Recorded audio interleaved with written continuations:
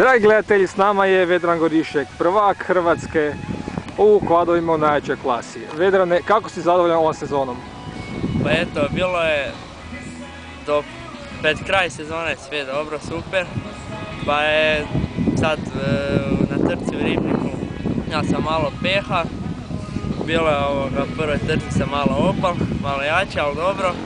Završio sam treći, u drugoj vožnji mi je opal lanac, pa sam završio zadnji.